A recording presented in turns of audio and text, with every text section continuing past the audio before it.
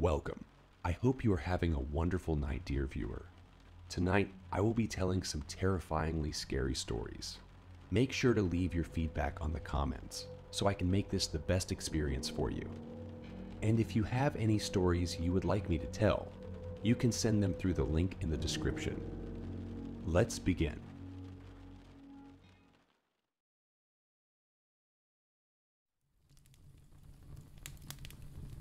I found myself driving down a desolate road, raindrops splattering against the windshield in a chaotic symphony. Fatigue had set in, my eyelids heavy, and my grip on the steering wheel slipping. It was in that moment, a mere heartbeat away from disaster. My body tensed as the blinding headlights of an oncoming car careened toward me, seemingly out of nowhere. Instinctively, I swerved to avoid the collision, my heart pounding in my chest like a tribal drum. Time seemed to slow as my car skidded, tires screeching in protest against the wet asphalt. Miraculously, I managed to avoid the collision, but the car behind me careened off the road, disappearing into the night. Shaking with adrenaline, I pulled over and got out, expecting to see the wreckage and injured passengers. But to my utter confusion, there was no trace of the accident. No mangled metal, no broken glass. Just an empty road stretching into the distance. After a long pause of panic and confusion, I continued on my way. The rain subsided as I arrived home. The next morning, I woke up as usual, with the immediate need to relieve my bladder. After taking a quick glance in the mirror while washing my hands, I paused and turned my head left to right, carefully inspecting my facial features. My reflection in the bathroom mirror appeared subtly altered, with my eyes appearing darker and my jawline slightly sharper. Did I lose weight? Huh, I didn't even notice. I thought to myself. Gleaming with a boost of self confidence, I got dressed and ventured outside, even though I couldn't find my phone. I had plans to meet up with friends at the bowling alley, and not being able to find my phone wouldn't be a good enough excuse for them to not kill me for bailing. They took bowling seriously. When I arrived, I immediately noticed something peculiar about them. Let me explain why this is peculiar. I just saw both Dan and Kate three days ago, but their appearances had noticeably changed. Kate had newly dyed her hair a vibrant shade of blue, and Dan now suddenly had a man bun, when I could have sworn he had short hair just three days ago. Kate wasn't even going to ask my thoughts on her newly dyed hair. I pondered. Curiosity and concern welled up inside, and I couldn't resist mentioning the changes. Hey, I like your new hair color, I exclaimed, pointing at Kate's blue hair. And since when did your hair get long enough to be put in a bun? Dan, my friend scoffed. New? I've had this hair color for months. You really don't pay enough attention to us, do you? Kate replied, rolling her eyes. I've been growing my hair out for like six months, and I didn't exactly hide it. Are you feeling okay? Sincerely asked. I blinked, trying to dismiss it and laugh it off, but the disconcerting feeling wouldn't go away. Even the way they spoke, their voices felt slightly altered. It sent a chill down my spine. I thought I was losing my mind, my anxiety playing cruel tricks on me. I tried to rationalize the changes, convincing myself that stress was distorting my perception. But no, something was not right. I made up some excuse about needing to pick up my mom's prescription for her before the pharmacy closed and left abruptly. However, as the evening continued, my sense of unease grew stronger. I reached into my jacket pocket, searching for my phone again, to no avail. Where did I leave that fucking thing? I muttered to myself, but something else felt off. The zipper, which had always been on the right side of my coat pocket, was now on the left. It was a small detail, but it felt profoundly wrong. But the anomalies persisted. I felt more disoriented and frightened, struggling to make sense of what was happening. People around me spoke with slight differences in their speech patterns. Their voices subtly altered. The once familiar world now felt like a distorted reflection in a funhouse mirror. I was no longer able to brush off the changes as mere figments of my imagination. I plunged into a state of paranoia, questioning my sanity. I wondered if my mind had been irreparably shattered by the near collision. Days bled together, and the anomalies multiplied. I couldn't remember what was normal and what was slightly different. The fabric of my existence felt unraveled by forces I couldn't comprehend. It's been days since I even left the house or talked to anyone. So, in a desperate attempt to regain some semblance of normalcy, I retraced my steps, returning to the place where the near crash had occurred. It was a desolate stretch of road, haunted by memories of that fateful night. The rain had long ceased, but the atmosphere remained heavy with an eerie stillness. As I stepped out of the car, a strange glimmer caught my eye amidst the damp grass. There, lying partially buried, was a phone. An inexplicable mixture of hope and dread swelled within me as I picked it up. The screen flickered to life, illuminating my face with an eerie glow. To my disbelief, it was my missing phone, the very device that had vanished without a trace. The screen displayed a 13% charge remaining, not bad considering it had been here for so long. I had countless missed calls and notifications, all from the past few days. I began to scroll through the messages and notifications, desperately seeking answers. With trembling hands, I first opened up Facebook, which weirdly had 99's notifications, and my heart sank in disbelief as I read the first few posts on my feed. Rest in peace, and we miss you posts flooded my timeline from friends and family, apparently mourning my supposed demise. So far, I've been on three dates. Three different people. Three different dates. The first person was Max. Exceptionally tall and slim. We went out to a restaurant and talked all night about things that I can't recall. Every word seemed so important that I felt the need to linger on it for a while, but the subjects changed so rapidly and so fluidly, like a flowing river. He presented himself in a charming manner, subtly flirting with me, and yet still not being overtly forward. We both enjoyed the night and made plans to catch up sometime in the near future. He was found early the next day. His heart was removed from his body and was never found. Needless to say, that shook me. I had never had a death impact me that hard. The gruesomeness of it all felt like a punch to the gut. I felt as if I was stuck in a rut with no way of clambering out. I had found someone that, for the first time, I had felt such a strong connection to. He seemed to be the perfect man, and now he was gone, cruelly taken from this world. Sleep was hard to come by, and my tears flowed freely. Then I met Evan. He was of a middling size. His physique not as appealing as Max's, but he was extremely intelligent and humorous enough to make up for it. We went to the cinemas for a first date and had to leave halfway through the movie on account of the fits of laughter he would send me into. We instead made our way to a nearby park, talking and laughing and having a great time. I left cheerful and brimming with hope that Evan would be the key to helping me move on. He was found at home, sprawled on the floor. His heart was removed. The detective I spoke with mentioned that the incisions were perfectly straight, cutting in ways that a simple knife wouldn't be able to do. One death could be written off as a coincidence. Things like these do happen, but two. Something else was going on and the correlating factors seemed to be dating me. And so when Matthew asked me out, I was hesitant. But he was persistent. He knew full well what had happened to my other dates, and was confident that he could take care of himself. Standing at 6'5, he was a mountain of a man after all. It was a simple evening. We ordered in pizza at his apartment and watched Netflix, that new show everyone is talking about. It was the most amazing experience I ever had and judging by the way Matthew performed, he definitely wasn't a first. Heimer, leaving his house, I felt happy and fulfilled, but worried.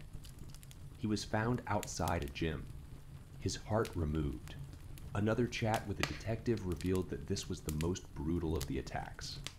While both Evan and Max were killed instantly, An autopsy revealed Matthew was kept alive for hours and tortured to the point of collapsing. The bruises that covered his body painted a tale of unimaginable horror. The police began to question me more, as there were three suspicious deaths all related to me. I retreated inside myself and rarely left the house for anything. Life became bleak and worthless.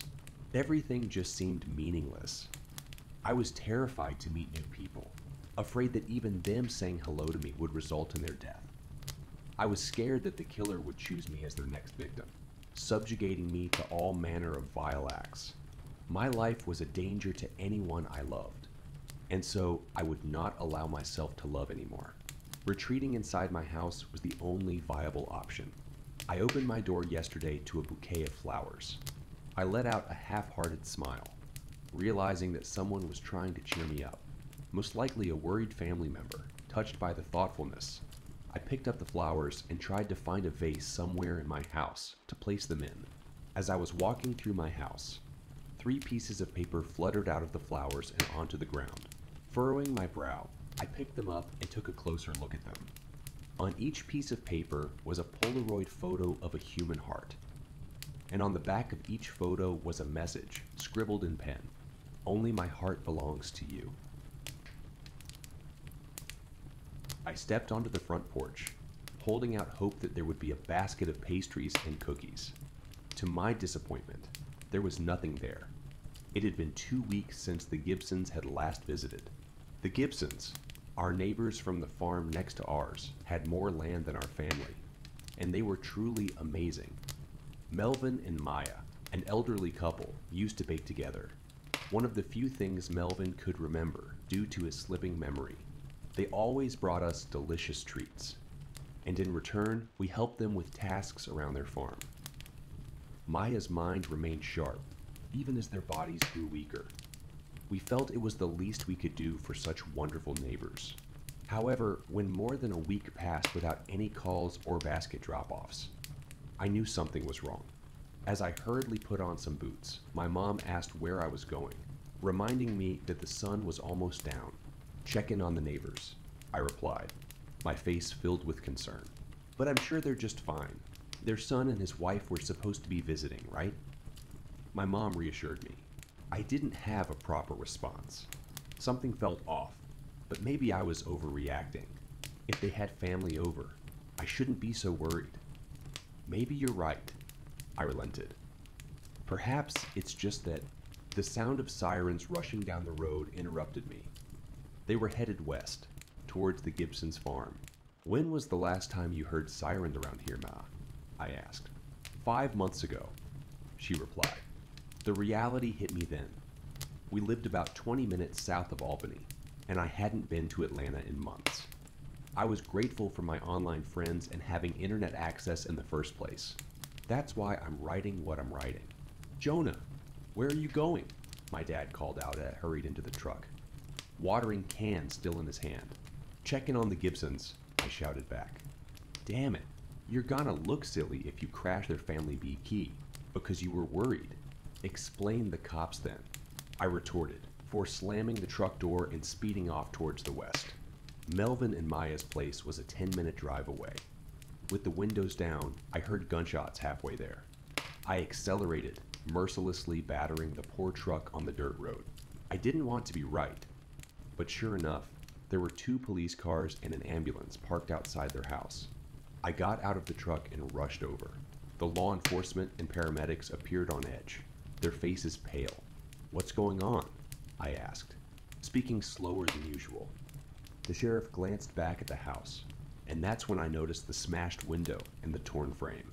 Some kind of attack, the sheriff informed me. It's a gruesome scene in there, kid. We suspect. Don't bullshit him. You saw it too, a younger deputy interrupted. That thing's a monster. The sheriff sighed and patted the shaken deputy on the back. We'll make sure someone takes care of it. A monster? I spat. You can't be using that word lightly. A big one, too, the deputy rambled. That damn thing took six of my bullets before charging into the woods. I didn't want to believe it. It's bigger than any bear I've ever seen. and I know for sure it isn't one. Who are you, kid? The sheriff asked. You shouldn't be here. It's dangerous. I'm their neighbor, I said, pointing back down the road towards my house. I gestured to look around back, and I followed the sheriff and his deputy closely. The Gibsons' crops were torn up in some spots, uprooted to be specific. There was a trail of blood smeared across a section of the field that led to a busted portion of their fence, trailing towards the woods and swamp. I wanted to check for tracks, but I was no detective, nor would the police let me get close. I. I don't believe so, son. Couldn't find a body to tell you. I bit my lip, trying my hardest not to cry. I walked back to the truck and drove off. I couldn't hold anything back and cried for most of my drive back to my place. I grew up with them always down the road, and they were kind and gentle souls. It was the type of loving marriage I envisioned myself having later in life. My parents had finished eating dinner by the time I'd gotten back. I quietly scarfed down some food on my own before telling my parents what I had seen. They were upset, for sure. They couldn't find a body, my dad asked. That means that there's a chance they might be alive. I want to believe that. I do. But the amount of blood that was there, I said, I don't think anyone could have survived that. What are you going to do about it, son? You can't go and fight this monster, or whatever that they said they saw. They were good people. I can't do nothing about it, Pops. Live a good life, for them at least. They definitely want that for you. A couple days went by, and I saw some vehicles pass our place to their property a few times. It was pretty quiet. I worked around our smaller farm and helped my parents bring food to the nearby markets. Eventually, their obituaries presented themselves in the newspaper. It was cited that Melvin, Maya, and their son and their daughter in law all died from a bear attack. This ignited a fire of conviction in me. I wasn't a sheriff or deputy or whatnot, but a bear attack was bullshit. I had to get to the bottom of it. I cared about the Gibsons. I wasn't going to give up until I found out what really attacked them. I drove to their property, much to my parents' dismay, and saw nobody was there. Someone had boarded up the broken window, and I saw a toolbox laying about on the front porch. I hopped the fence behind the house and saw the smeared trail was drying up. Something was off. More of their crops were uprooted. Whatever the thing was, it was here recently. I was also able to find some tracks. Hooves. Larger ones at that. Couldn't be a killer deer. I chuckled to myself. I circled back around the house and noticed something shocking on the side I hadn't seen yet. There was a fresh trail of blood smeared towards the woods. Who was here recently that this thing killed? I took a look and saw a small broken window that was halfway through being boarded up. Looking down at the trail, there were once again hoof tracks leading away from the house. I saw some torn denim, soaked in blood on the ground, as well as a screwdriver. This thing ended whoever was patching the place up. I was too scared to follow the trail. I was unarmed. I checked the nearby barn that held their sheep and goats.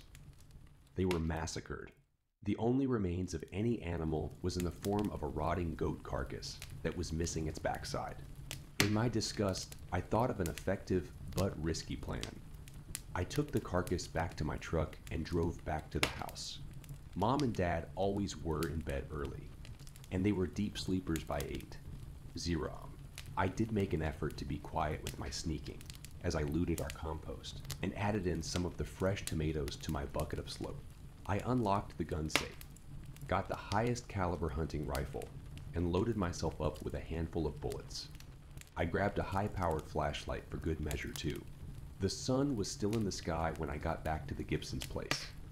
I took the carcass to the back of the house, dropping it on the blood trail. I dumped the compost slob on top, as well as the fresh tomatoes for extra measure. By the looks of it, the bait may not have been necessary, but I wanted to speed things along. I managed to navigate the intact wooden railings on the back porch and climbed on top of the roof. I got a view of most of their field, which was almost completely ransacked. I took out the gun and waited. Nothing came for two hours. The moon was full with a clear sky. I didn't even need the flashlight I brought. Disrespectful as it was, I also peed off the house towards the carcass. That was not part of the plan, but a part of me was glad I did. About 20 or so minutes later, I heard something from the woods. I quietly got the gun ready. It was a bear, and a pretty big one at that. No bear could have done this, right? It began sniffing where I had peed, as well as the bait I had laid out. I wanted to fire off a warning shot to scare it off. It was interfering with the monster. As I prepared to fire off the gun, I heard a low grunt and snort from the woods. It was loud, sounded like a wild boar, but not quite. I heard the sound of something slowly dragging through the underbrush. The bear noticed it too and ran away. A bear was running from something like a boar. What the hell? It emerged from the woods, and I understood why. It was a massive boar. I'd argue it was taller and heavier than the bear. It didn't have the thick hair your average feral pig had. No, it had a bristly mane but almost no hair on the sides. It looked like it had been stabbed or shot. Its hide had dark exposed holes. I could see from the moonlight that its tusks were stained with what I could make out was blood. Its bloated gut dragged on the ground, and the thing wheezed each step it took. It reached the bait. Did it notice me? I took aim. The thing began to heave and hack. First, a slew of bile came from its mouth. It looked like it was struggling. Then something else came out of its mouth that will no doubt be burned into my brain for the rest of my life. A set of flailing human arms. They swayed as this creature heaved some more. More bile came out. The arms were hung up in its mouth and tapped desperately on the snout. Oh, God. The person it ate is still alive. I took aim and fired into its side. It gurgled and shrieked. It spat out more content that made me lose hope. It opened its mouth wider, and a slimy, half digested body dropped onto the ground. It wasn't done yet. It shook its head, and the arms that were stuck in its teeth flung away. It kept puking. A hammer. A hammer, a half melted hard hat, and parts came out of its mouth. It went back to the pile and began to gorge. This thing was simply making room. No doubt, this was the monster. Furious, I took another shot at it. I got it right in the ear. It squealed and turned its gaze upward. Its cold, beady eyes locked onto me. I slowly began to back up, reloading another bolt into the rifle. It snorted and roared. It reared up at me, its oversized gut weighing it down. It began pacing from side to side before charging towards the house. It pressed its massive body into the house, and I could have sworn I heard some creaking from the wall. I took another shot at the top of its head. It drew bile, but I doubt it went close to the brain. It looked up at me, opening its massive, disgusting mouth. I instinctively gasped when I saw what was inside. It was glinting in the moonlight, the gem on Maya's wedding ring. My body must have moved on its own, because I don't remember putting the flashlight in my hand. But before I knew it, I turned it on, and I couldn't believe what I saw in the light. The ring was attached to a slimy, disgusting bile. I screamed in terror and in rage, and fired a shot into this thing's mouth. It stumbled backwards, squealing and rolling. Its insides were still vulnerable. As I shakily went to reload, I realized I had ran out of bullets. Shit. The giant pig squealed and roared. It took a few steps and began to retch once again. It vomited up Maya in pieces before retreating into the woods. I could hear its gut dragging along the ground. I was distraught. I could tell through the disgusting, slimy body that this was indeed one of my neighbors.